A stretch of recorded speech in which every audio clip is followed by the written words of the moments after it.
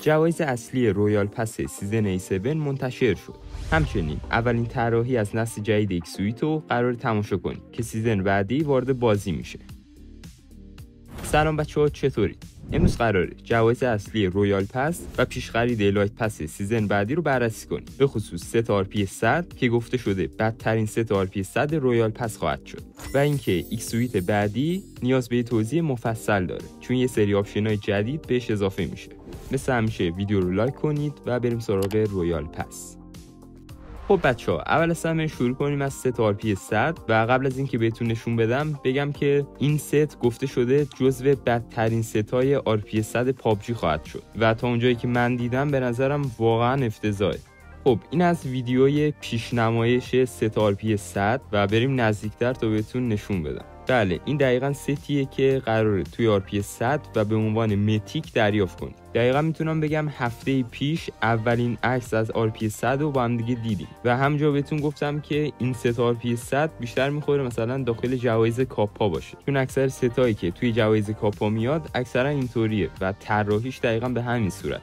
و ازتون می‌خوام که حتما نظرتون رو همین الان تو قسمت کامنت بنویسید. به ست RP 100 از یک تا ده چه نمره ای می‌دید؟ من خودم نمره 4 یا 5 از 10 میشه گفت نمره مناسبیه. شادم کمتر. و این قسمت هم تغییر رنگ رو داره بهتون نشون میده و می‌تونم بگم حتی با تغییر رنگ تفاوتی ایجاد نمیشه. یعنی همونیه که هست. خلاصه که این از ست RP 100 من نمرمو دادم. به نظرم که واقعا افتضاحه. حالا بریم سراغ ست RP یک و ست RP چهل.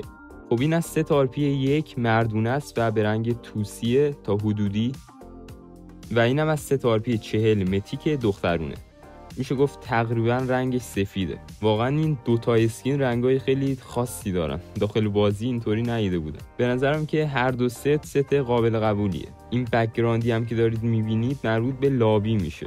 لابی season بعدی. حالا می‌رسیم به اسلحه upgrade ی RP 50 Bizon اسلحه upgrade ی season بعدیه که رنگ skin ش هم تقریبا میشه گفت سبز کبریتی روشنه. kill message ش هم که به رنگ سفیده و یه همچین طراحی داره. Bizon داخل بازی زیاد استفاده میشه. به نظرم که اسلحه خوبی رو انتخاب کرد. و اسلحه بعدی مربوط میشه به skin M24 که توی RP 90 بهتون تعلق می‌گیره. و حالا جوایز Elite Pass Plus رو هم دیگه ببین. خب اول از همه بهتون skin ربات رو میده و این ربات رو توی mode بعدی می‌تونید که استفاده کنید. اسمش هم تا اونجایی که یادمه لویترون بود. اسم این رباته. و با Elite Pass Plus کردن یه dance و یه avatar frame هم بهتون میده. dance ش از روی تجربه بخوام بگم همیشه خوب بوده. و در آخرم بهتون یه مجسمه میده که مربوط میشه به Royale Pass A7 این بخش هم بهتون preorder یا پیش خرید Royale Pass رو نشون میده که هفت روز قبل از اینکه Royale Pass بیاد دقیقا این preorder وارد بازی میشه. داخل عکس می‌تونید ست RP چهل و ست RP یک رو تماشا کنید. ست RP چهل طبق معمول mythic ه و توی دست ست RP چهل یه skin Vector می‌بینید. این skin Vector هم توی Royale Pass بعدی خواهیم داشت. و همچنین توی دست ست RP یک بکنم smoke ه. یه skin smoke هم قرار که اضافه بشه به این صورت.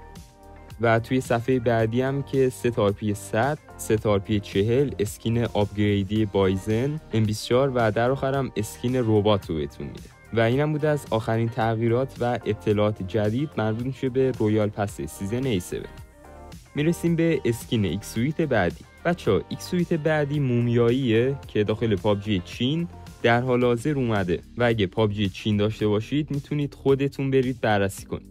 ولی داخل این ویدیو بهتون نشون میدم که به چه صورته و چه آپشن های جدیدی نسبت به X-Suit های قدیم داره. خب این ویدیویی که دارید می‌بینید مربوط به لابی میشه و اونطوری که دارم می‌بینم قد X-Suit ها بلنده. خب احتمال خیلی زیاد emote ه و داخل بازی قدشون بلند نیست و داخل لابی هم به این صورته. خیلی حرفه‌ای روی هوا وای میسته. این قسمت هم که نمایش قبل ورود به هواپیما رو نشون میده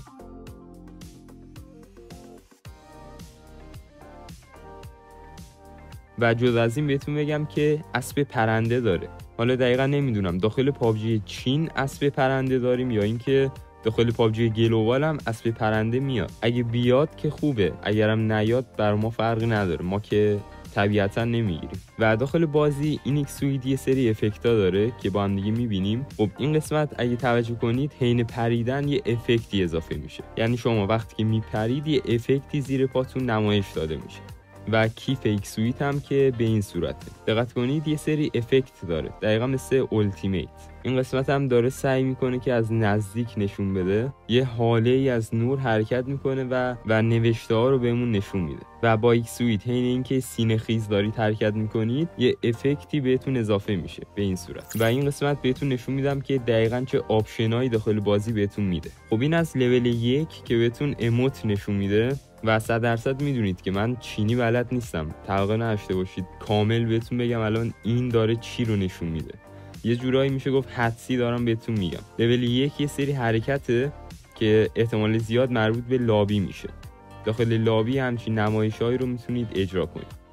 و لول دو بهتون دو تا افکت نمایش میده. اولی مربوط به خون زدن و هیل کردن میشه.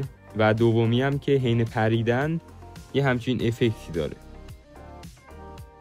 و level سه kill message ه البته که بهتون بگم این پابجی چینه و داخل پابجی global وقتی که این X-Suit بیاد 100 درصد تغییراتی ایجاد میشه. یعنی دقیقا خود همین نمیاد. شاید یه سری از افکت و آپشناش نباشه. لول 4 هم که بهتون MVP emote و میده.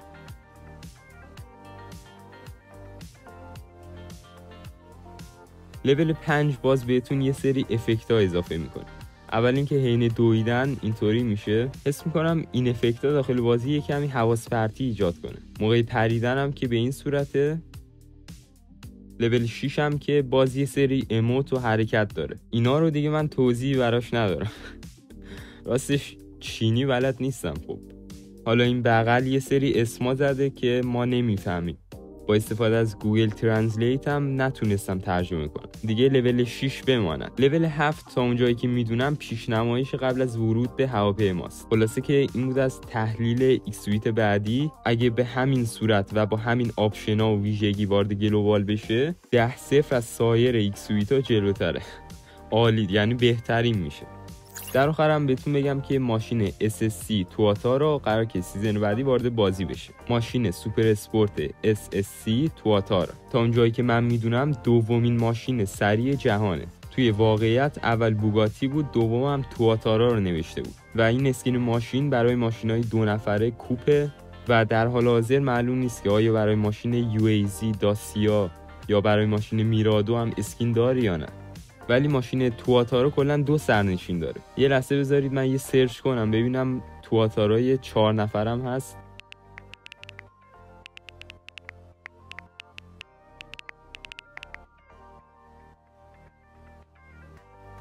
آقا از اونجایی که من سرچ کردم تواتارای چهار نفره نبود. اگه ماشین چهار سرنشین می‌خواید برید سمت سایپا و پراید.